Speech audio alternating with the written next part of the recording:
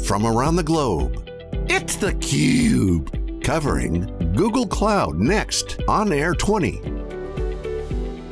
Hi everybody, welcome back. This is Dave Vellante and you're watching theCUBE's continuous coverage of Google Next on air. Nine weeks of cloud content. It was just a buffet of content. It started out with kind of industry trends, we got into productivity, infrastructure, deep dive in security, analytics, database, app modernization, cloud, AI, and we're wrapping up the nine weeks with business application platform. And with me is Amit Zavery, who's the general manager and vice president of the business application platform at Google Cloud. Amit, always a pleasure. Thanks for coming on.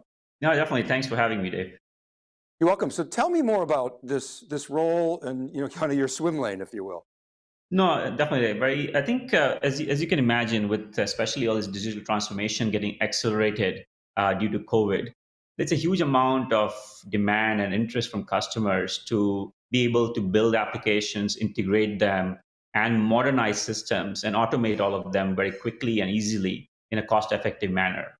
So that has been driving a lot of the thinking at Google for quite a few years already, but I think it got a little more accelerated with some of the work we've been doing previously with our stack around API management, no code app development, automation uh, capabilities in our in our platform as well. And we're bringing a lot of these things together in in a, in, in a, in a offering so that customers can take advantage of a lot of the innovation in this space and improve the digital you know, uh, transformation and innovate quickly as well. So that's what we've done uh, with Business Application Platform. We're providing capabilities for any kind of developers, be it the technical user who has a lot of programming experience, as well as the other spectrum, which are the citizens developers who don't really have any kind of uh, software engineering background, but want to be able to build applications and automate and uh, processes very quickly and easily. So we want to provide them all the tooling and capabilities so that they can do that uh, and be more effective than they would otherwise be. I, want to ask you about digital transformation. I mean, obviously it's a word that's thrown around, a phrase that's thrown a around a lot, and it's there's a spectrum of what it means to people. I was talking to somebody the other day, and this uh, obviously will resonate with you with your background in in, in, in enterprise apps, but they were talking about an ERP system that was you know, put in 15 years ago, before, before iPhone, yeah. you know, before cloud, and to that, to that, and it just says, you know, those systems are fossilized. Yes. Uh, and, and the business has changed dramatically, but the ERP system hasn't. And, and, to them, digital transformation was basically, you know, upgrading the system. Uh, yeah. Uh, and so, but, but obviously to Google and your, your role, it's, it means something much different, doesn't it? It's a lot more, right? I think no doubt having a digital application, no doubt is important. It's a good starting point. But as you said, some of the systems are pretty old and they're not connected together between different parts of the business. And there's a huge amount of manual processes and there's a, lot of, uh, I would say, disparate pieces which never come together if you don't really put a well thought out uh, digital transformation project or an implementation around it. So a lot of times, all these businesses, when they're connecting things together, they do need a platform to kind of bring their uh, business processes, uh, their workflows, their applications, and the interaction between different users, be it external and internal, into a more more automated system. And that's really where digital transformation really shines and improves a lot of the ability for customers to compete as well as meet their customer demands uh, and be more effective than otherwise they would be. And, and, cloud is critical there, but it's connecting to an ecosystem. So I want to ask you about your, your strategy of, of the business application platform. And, and of course, Google's known for great tech. Uh, it's, it's very open, a lot of, a lot of downstream contributions. You think about you know, Kubernetes and Anthos.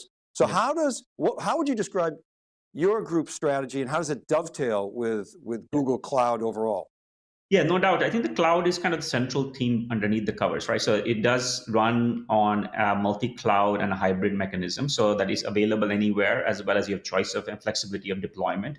Uh, it's also uh, platformed on top of Anthos, so you have that advantage of multi-cloud as well as support for all the different systems you might have, both on-prem as well as in uh, various other cloud providers uh, as well. And the other things we're doing is we're taking advantage of a lot of the AI ML capabilities, a lot of our data analytics capabilities, and bringing a lot of those underlying technologies and abstracting it out through a SaaS-based offering on business application platform. So the customer perspective, if they want to build an application, they use, we recently acquired a company called AppSheet uh, as start of this year. Uh, so they can easily now use AppSheet to build those applications without writing a single line of code. And then if you create uh, that application, it provides connectivity also a lot of other systems out there, be it applications like SAP, Salesforce.com, but also a lot of legacy systems uh, in, in-house or custom systems you might have built and provide connectors to that and then allows you to now monetize and take systems and provide APIs so that you can now extend it and bring it out into the uh, to the partner community as well as customers to be able to build applications around that as well. So it connects all these things together, takes advantage of the Google Cloud and the ecosystem we have built, and provides you uh, customers and users much easier way to kind of uh, build and deliver applications and automation on it. Okay, so that makes sense as to, in terms of why you acquired, made that acquisition. But I want to talk about uh, no code development. It's something that, that you've been talking about quite a bit lately. Tell, tell the audience, what is no code uh, development? Why do we need it? Yeah, I think if, the, if you look at some of these reports nowadays, I mean, there's a limited amount of capacity and capabilities IT can provide. And for complicated and very uh, large systems, you of course need IT to kind of make your business efficient and implement a lot of the systems together. But there are a lot of other applications which departments and line of business users want to use and build, and they can't wait around for IT. And there, I think if you look at some of the reports from Gartner, for example, there are going to be four times more developers inside outside IT than they are going to be in IT. And those folks are not going to be software engineers; they're not professional programmers, and but still they need efficiency and automation and application development tools. This is where no code really brings a lot of value. So tools like AppSheet, which we acquired, which is market leading no code uh, uh, development platform, makes it very easy for anybody without any experience writing any code or building applications. They can point click and start building an application and be effectively produce something which they can collaborate and use between different users inside the company or outside uh, without uh, spending a lot of months and time to deliver that. And that's why the no code application platforms are becoming very popular because it does make your business more efficient, makes your business more automated, is cost effective, uh, and it's very productive, right? So mm-hmm. that has been the trend now more and more. And we speak to a lot of, especially nowadays, if you look at telehealth, you look at, uh, say, if you want to do mortgage lending, you want to build an app easily, quickly, without having to wait around for it uh, you are interacting with a lot of people through digital mediums now. And instead of paper, using a lot of digital tools. And that's why I think this no code uh, platform become much more important and powerful and usable in this mechanism as well. Okay, well, I think it's important to point out, we're talking about no code here, not low code, no code. Yes. There's a difference. There's a big difference. I think uh, the, see, the low code was kind of the interim stage where customer uh, tools uh, which are coming out into the market were available to make it a little easier at, for development, uh, but not enough to kind of uh, democratize it for everybody. With no code, you are now allowing and opening it up to a lot more vaster community of users who can also build applications and take advantage of a lot of technology innovation happening in the platform like cloud and other things as well. Reporting is another good example where you want to be able to build dashboards uh, quickly and easily without again writing code. So the no code becomes a lot more important and usable uh, for this kind of needs. So I wonder if we could stay on this for a minute. You've used the example of programming a VCR. Many of us remember how difficult that was, you know, early on. Uh, and now it's just you talk to it and it works. It, it, it, that's you use that as an example of what no code is like. Can you explain that a little bit more? Yeah, I think it's uh, basically it should be very natural, right? Uh, I think when you when we used to program uh, VCR, you had to read some manuals, you had to read some code, you had to kind of go through the whole process. I don't even know how many of our audience nowadays even know about that or even think about it anymore. So it makes us all very dated.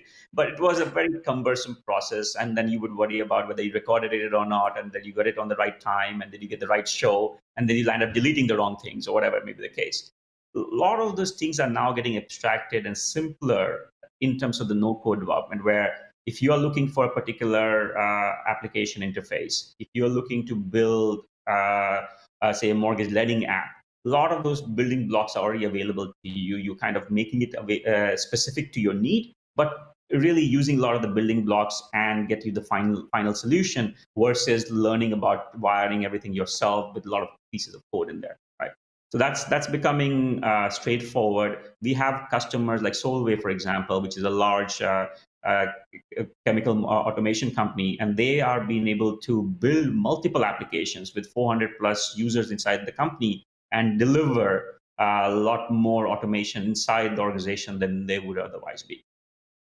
So you, you kind of touched on this with the, you know, the different modules and capabilities and functions within an organization, but I think, when I think about that VCR analogy, I mean, it's doing one thing, you know, and that's pretty simple. How does that apply? Uh, and again, you kind of touched on it, but, but it seems like IT is much, or business is much, much more complicated. But, so this actually works. Yeah, no, I think it works. I mean, we provide a lot of uh, out uh, kind of templates and uh, system uh, examples uh, in, in, in the no code tooling, mm-hmm. Uh, as well as there are a lot of complexity which is built underneath the covers, which is completely hidden from the user perspective, right? So when, when I, am building an application, I'm still getting the power of the cloud, I'm getting the power of our underlying platform, the scalability, reliability, the security, the integration, all that kind of stuff is brought into this uh, tooling without you having to learn any of those uh, things. And that really is where the power comes in and it's flexible enough that you can kind of pretty much do any kind of application development. I would not build a full blown uh, e-commerce site with it, but I can do a lot of typical day-to-day kind of applications like vacation approval or things you might want to do for mortgage lending. I was telling a telehealth app for doctors and so we're seeing a lot of uh, like the, we had customers who were doing this for hospital bed tracking during the COVID current crisis going on, right? Where they want to know what kind of PPE is available, how many beds are empty. So tracking that at hospital level, at the healthcare departments, all that kind of stuff were done very, very quickly and powerfully than uh, they were otherwise would have been able to. Is there a concern amongst your customers about privacy, governance, uh, compliance, security? with uh, you know all these citizens, citizen developers. How do you ensure that those fundamental edicts of the organization are preserved? Yeah, I think this is a similar uh, thing than any other uh, system we would make available to our customers in the cloud. We guarantee that all their data is only available to the people who are allowed to based on the privileges and the security profiles and everything else.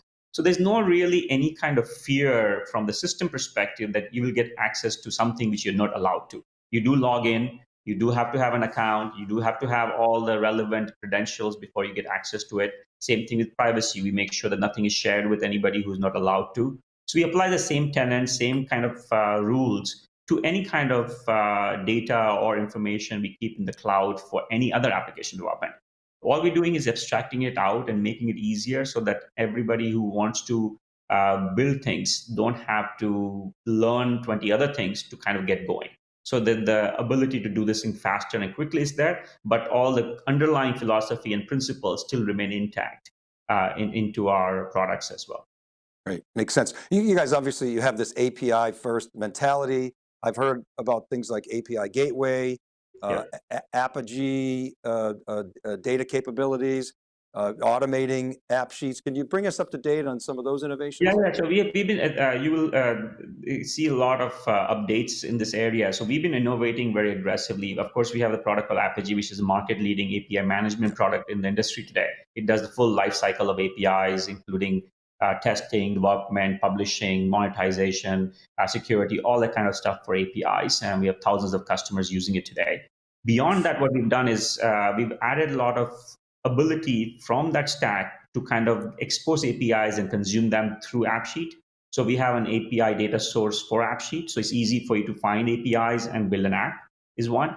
Second, we also released something uh, called API Gateway, which is a very high performance, uh, low latency, uh, cloud native gateway running on serverless. So a lot of people, a lot of applications are built on serverless platform nowadays. And if you want to now manage that through an API layer, we provide a gateway on top of uh, Google Cloud so anybody can also use it very quickly and easily as well. So that's another area which we added. And the third thing which we are announcing is something called AppSheet automation. So as I talked about AppSheet for app development, we also now adding a lot of workflow and business process automation underneath the covers uh, as part of AppSheet. That's something we're making available to a customer so they can automate a business process and connect things together very quickly but also get the value of the automation in their application as well. So those are new innovations, new releases we're adding to our platform as part of business application offering uh, so that anybody can take advantage of it. I mean, I love this trend because it, to the extent you can enable, I mean, this is the holy grail. I mean, if you can enable business users, they're closer, obviously, to what's going on, closer to the customer, uh, and, and, they just, they can respond much more quickly. Are you seeing, uh, for instance, a user you know, builds an app using AppSheet, are you seeing, because of the you know, API richness, are, are you seeing other innovation around you know, those occurring? Are we at that point yet, or are they still kind of islands of of, of no, business no, processes? The the, um, um, the the scope of usage is growing very fast, right? Uh, we have more than four hundred thousand users on AppSheet now building applications um, uh, thousands of thousands of applications been built on it millions of users kind of using it at the end uh, uh, from the logging in and using those applications as well. So i think the innovation is happening very fast where they're connecting different things as well as now building an ecosystem. Even in Solvay as example i was giving you the multiple apps been built by multiple departments and they're kind of bringing those ecosystem together into reuse uh, be able to kind of find new use cases around it those kind of things as well are, are organizations coming back to you say, hey, we love this, but you remember when you, we first started spinning up VMs, it was so easy. and are you seeing organizations say, hey, we need better line of sight on that. It can be a catalog of what we're doing or, yeah. a marketplace. Are you, are you seeing demand for that? Yeah, so we're seeing, no, I think there's a lot of uh, reuse. Like we have partners who also build, uh, build applications and put that into our, into our uh, marketplace as well. And, and then we're also seeing a lot of interest from solution providers who build applications on top of what you might have as modules and deliver uh, to uh, uh, our end customers as well. So now there's a lot of interest in that regards, and there's a lot of good examples coming out, and we're seeing a lot of uh, ways of bringing some of these things together as well. I mean, how does machine intelligence, AI, how does it fit into you know your whole agenda and, and strategy, and what, what does it mean for a, a customer? Yeah, I think uh, as you know, Google has been innovating and has been one of the top AI ML vendor out in the uh, in the marketplace today.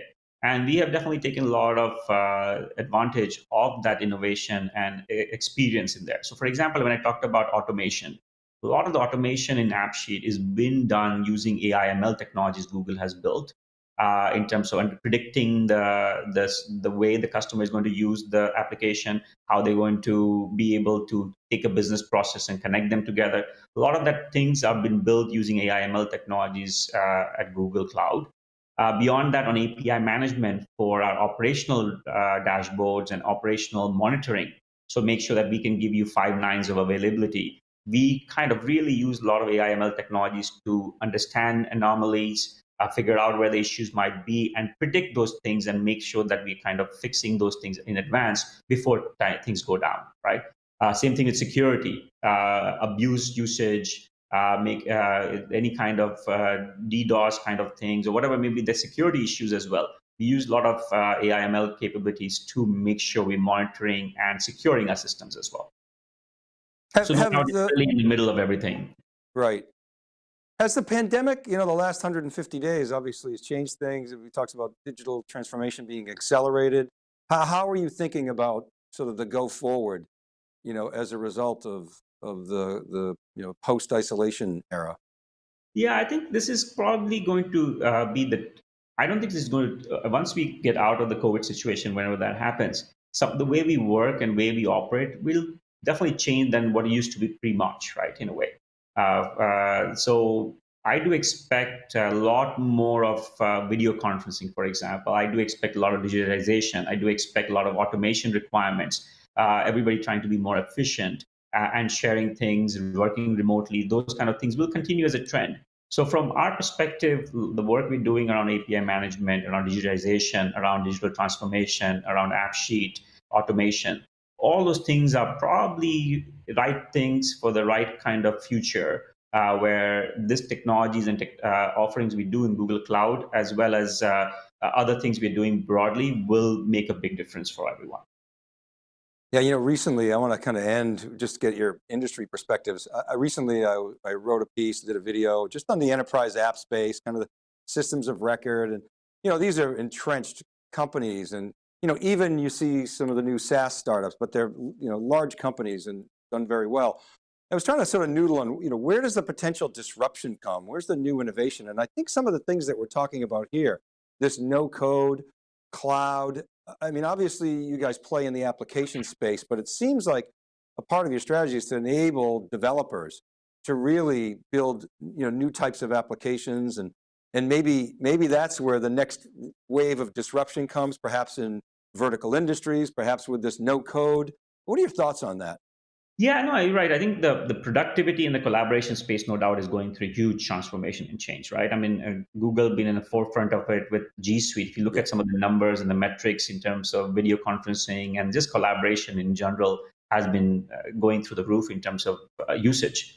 Uh, AppSheet combination with that, for example, right? So if you're building an application, you're building uh, doing video conferencing, I might be able to build a telehealth app very quickly and easily. So that's where the no code and collaboration, for example, and productivity becomes part of that story.